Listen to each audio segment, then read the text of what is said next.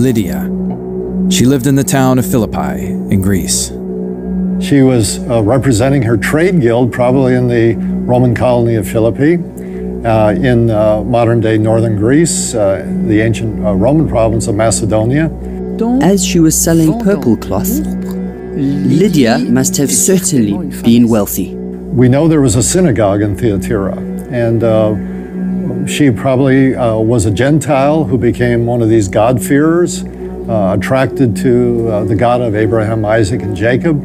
And uh, here she was now living in uh, Philippi. Her actions show she already believed in the only God, so she must have converted to Judaism.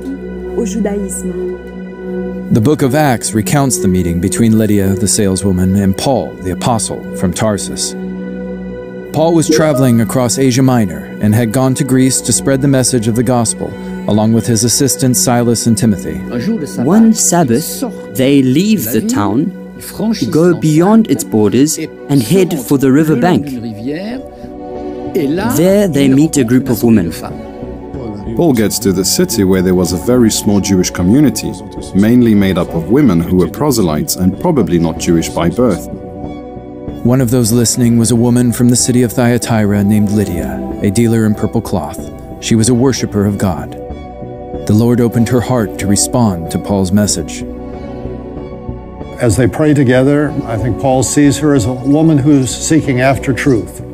And uh, he begins to share about uh, Jesus and his message, and she comes, uh, becomes a very early follower. She decided to convert to Christianity and got baptized along with her whole family. This was the start of the work in Philippi and the rest of Greece.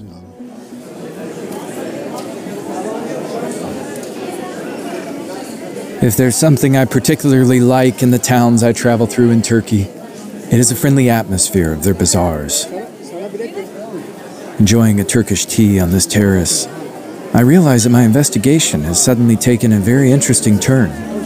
In pulling together the scanty pieces of information provided by the text relating to Thyatira, I note that the Bible portrays two very different women. On the one hand, Revelation describes Jezebel sowing division in the church of Thyatira. On the other hand, the book of Acts showcases another woman, Lydia, portrayed as an exemplary in faith and obedience who played a significant role in the spread of Christianity in the area.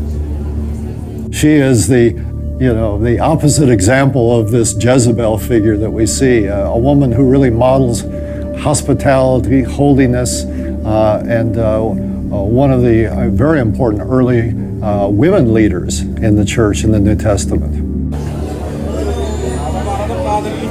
I now need to understand who Jezebel was and what sort of threat she posed to the church of Thyatira.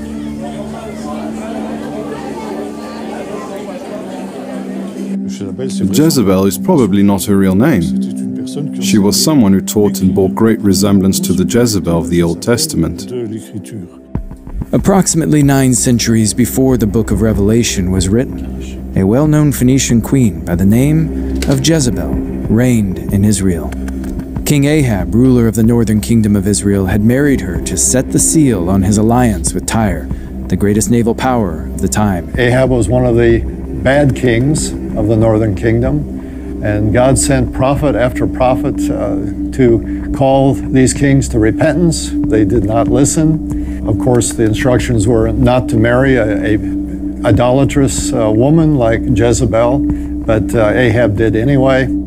She was accused of being like the Egyptians, whose ways were popular at the time.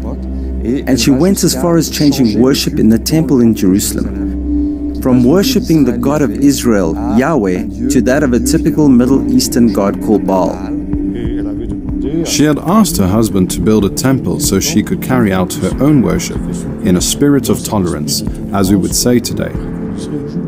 And Ahab had agreed. The problem was that, at that time in the northern kingdom, the population was a mixture, including about 50% Canaanites, who had formerly worshipped Baal. We imagine that worship of Baal, Asherah, and other pagan gods was already commonplace in the land of Israel before Ahab and Jezebel's rule. These were very ancient forms of worship that were widespread among the Canaanites. The god Baal and his female counterpart, the goddess Asherah, were idols of the earth and fertility. They were also the gods of rain and storms, and as such they were called upon across the ancient Middle East world to prosper harvests and the fruits of the earth. To ensure the land would be fruitful, they would visit sacred prostitutes. Intercourse between the worshipper and the sacred prostitute was supposed to make his fields, lands, and so on fertile. So, this type of worship was very popular because of the involvement of sacred prostitutes. Hence, the renewed interest in a return to Baal worship that had been stamped out when the children of Israel had arrived and taken over the land. Worship of the Lord had become significantly less popular. Jezebel did not hesitate in killing the prophets of the God of Israel and officially set up Baal worship through a bloody reign of terror.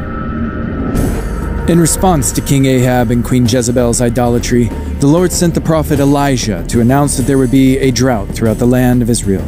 In retaliation, Jezebel swore that she would kill Elijah, who had to flee into the desert to save his life.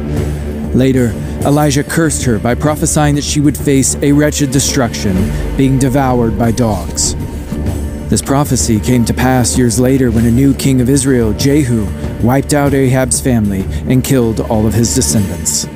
She comes to a very bad end because King Ahab's successor throws her out the window. We are told that chariots ride over her and dogs eat her remains.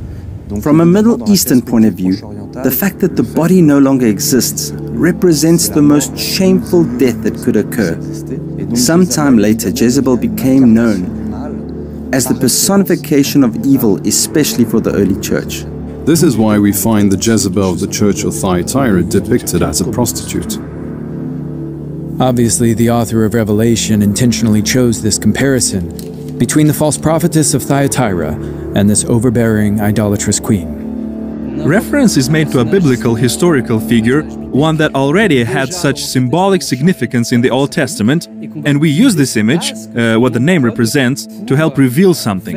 Jezebel, we will never know her true identity, uh, she is a caricature of herself. She is now just Jezebel. And this is interesting. This is the reason for the symbolism in the book of Revelation. It uses images to help us see things. When John of Patmos says, No, this woman is Jezebel, he causes the mask to be removed and opens our eyes. It's a paradox that by covering things with a layer of symbolism, it actually exposes the reality. But what exactly did John of Patmos really say of her? The letter to Thyatira says the following By her teachings, she misleads my servants into sexual immorality and the eating of food sacrificed to idols. So we have a false prophetess by the name of Jezebel who's in this church. She's a, a very strong woman uh, who is teaching uh, this message of accommodation. So we have two issues particularly sexual immorality and food sacrifice to idols. And so they were somewhat connected. She was also involved in prostitution on two levels prostitution as per the real meaning of the word, and then idol worship, which is spiritual prostitution. So, in the ancient world, uh, the restaurants often were at the pagan temples. Uh, and so, uh, union uh, uh, groups, uh, the ancient trade guilds, would have their meetings there as well. So, this becomes one of the issues. The food that's being consumed has been offered to a pagan god or goddess. As a Christian, can you go to this? Where they would be eating, then there would be sexual fornication taking place in these same places. So for the Greeks and Romans, uh, immorality was very common. And so the, the mixing of eating and sexual immorality was a, a, a real problem. Jezebel, this woman, uh, he's called this, is uh, advocating that this is all right. So this is the tension we see here in this letter. Jezebel was combining pagan and Christian influences in the church by encouraging Christian involvement in the debauchery of pagan festivals. She was encouraging the Christian craftsmen and traders of the town, torn between faithfulness to Christ and financial interest, to